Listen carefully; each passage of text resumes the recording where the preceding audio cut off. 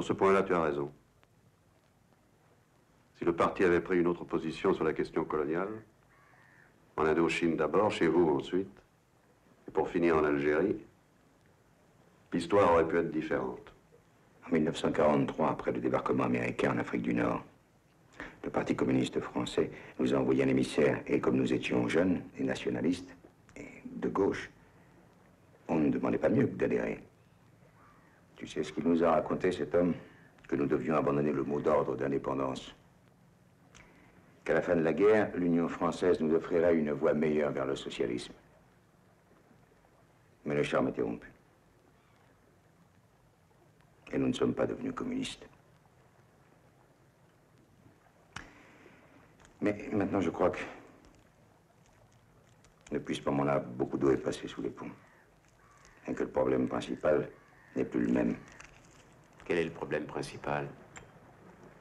C'est l'armée. Surtout certains éléments dirigeants, formés, promus dans les guerres coloniales de l'Empire français. Tel que je connais Garcin, il va pas être content si tu dis des choses pareilles dans son émission. C'est pas son émission, c'est notre émission. Darien a obtenu toutes les garanties écrites que je leur ai demandées, y compris la participation d'Howard. Et maintenant, le projet me semble acceptable. Je vais être en mesure de placer le gouvernement devant ses propres responsabilités. C'est extrêmement important, tu comprends? Au moment où, justement, je négocie avec eux. Tu ne fais pas un compromis pourri en traitant avec ces gens-là? Un compromis, tu sais très bien que c'est un compromis. Mais nous exigeons un programme politique précis, un contrat politique. Et la possibilité de mobiliser et d'informer les masses. Voilà qui va enthousiasmer le colonel Cassard. Si je rentre, Cassard sera obligé de s'en aller. Et tu crois qu'il va se laisser faire?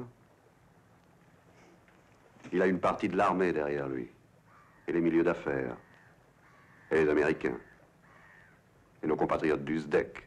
Je sais. C'est une épreuve de force.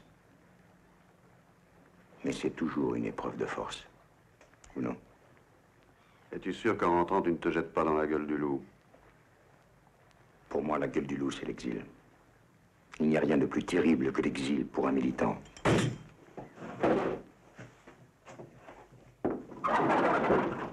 Tout est beau ici, n'est-ce pas?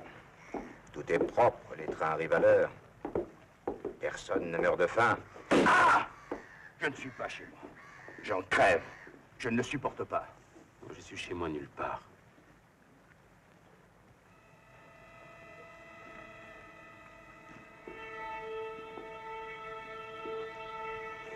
Tandis que moi, je sais quand je suis chez moi. Rien qu'au soleil, au goût de l'eau, au bruit de la rue. Et je ferai des compromis avec le diable pour retrouver tout ça.